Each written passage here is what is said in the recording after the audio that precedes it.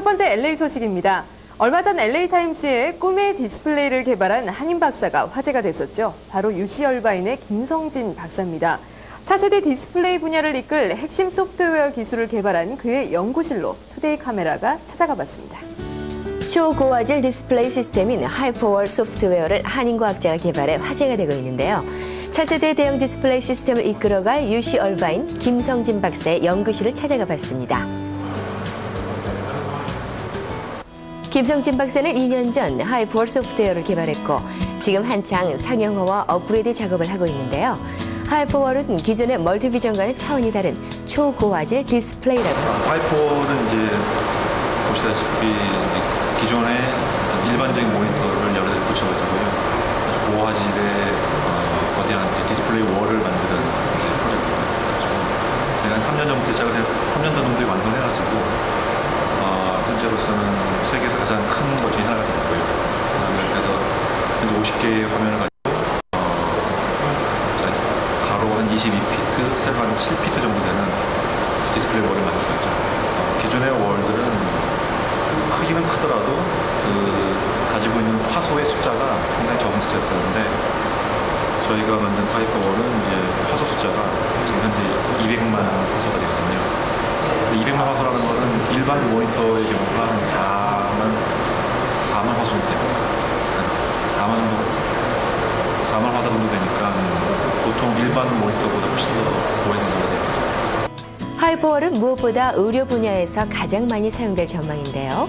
기존의 모니터로는 보기 힘든 미세한 세포까지 볼 수 있어 그야말로 획기적인 디스플레이 시스템입니다. 4 million pixel 400만 화소 정도 되는 건데 이제 저기서 이걸, 이걸 예를 들어서 확대해서 본다고 한다면은 기존에 있는 화면에서 본다면은 확대해서 보면은 이 중간에 전체를 볼 수가 없죠. 그 다음에 이제 이걸 예를 들어서 축소를 해가지고 본다면은 전체를 보고 싶다면은 이, 이 디테일을 볼 수가 없죠. 하지만 저기서 보시면은 어, 전체를 보면서도 직접 가까이 다가가서 보시면은 거기에 있는 자세한 디테일을 동시에 다 볼 수가 있습니다. 이 화면에서는 이 디테일을 보기 힘들지만 저기서 보시면은 볼 수가 있죠. G, G의 이제 뇌를 촬영한 거거든요. 그것도 마찬가지로 지금 여기서 보시면은 이, 이 디테일을 보기 상당히 힘들죠. 저기 보시면 벌써 저기서는 상당히 많은 디테일을 벌써 볼 수 있습니다. 그리고 밖에서 보시면은 훨씬 더 많은 디테일을 볼 수가 있죠. 어, 저희가 이때까지 어, 많은 이제 손님들이 오셔가지고 많이 보고 오셨을 때 굉장히 좋은 반응을 받았습니다. 특히나 이제 말씀드렸듯이 메디칼 하시는 분들은 당장에 지금 천만 화소 그런 데이터들을 뽑아내시기 때문에 당장 거기에 이제 당장 봐야 되기 때문에 이런 것이 이제 필요하시죠. 저희가 어, 작년 같은 경우에는 이제 어, 저쪽 뉴욕에 있는 어떤 cancer center하고 잠깐 얘기가 돼가지고 그쪽에서 이제 임시로 테스트 했었습니다. 그래서 거기서 좋은 얻었고, 그다음에 지금 현재도 어떤 지금 캘리포니아에 있는 한 어, medical school에서 저- 저희 소프트웨어를 좀 테스트를 하고 있습니다. 이걸 볼수 있는 것보다 훨씬 더 많은 부분은 구글어스 특히 지리 교통 분야에 있어서도 하이퍼월은 상당한 장점이 있는데요. 소스 코드를 이용해 가지고 내부에서 조정하는 게 아니라 구글 어스를 구글 어스를 외부에서 조정함으로써 마치 하나의 구글 어스가 되는 것처럼 숨졌을 때를 그것을 저희가 컨트롤하는 거죠.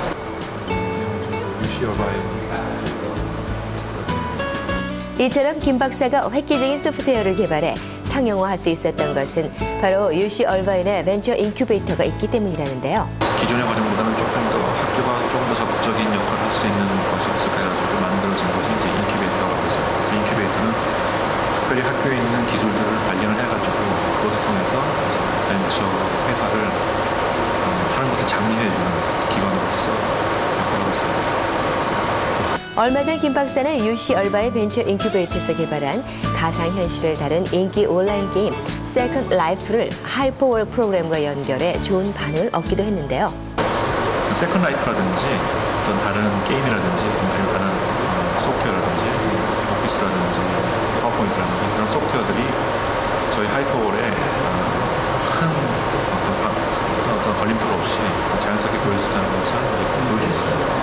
이제 그 중에 하나로 이제 저희가 다른 교수들과 협력을 해가지고 어, 세컨 라이프를 다른 machine을 돌리고 있는 화면을 그대로 하이퍼월에다 몇 개를 동시에 보여줌으로써 어, 그런 기능, 기능, 기능을 할 수 있다는 것을 제가 demonstration 한 것입니다. 최근 구글과 마이크로소프트사 등 IT 분야에서 한인들의 활약이 두드러지는데요.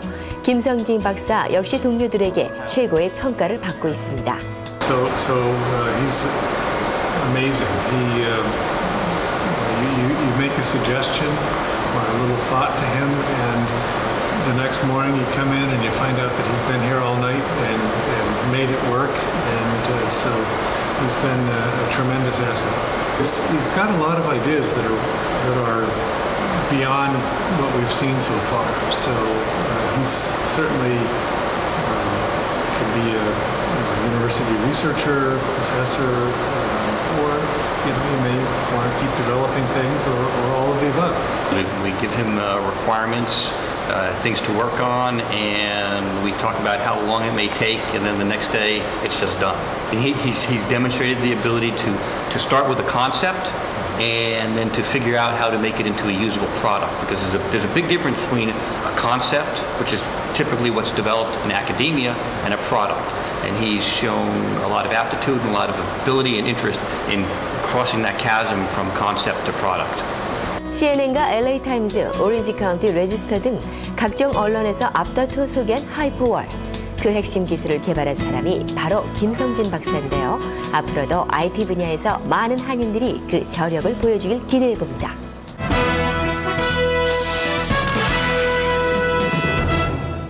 다음은 뉴욕 소식입니다. 자고 일어나면 치솟는 유가 때문에 걱정인 분들 많으시죠? 그동안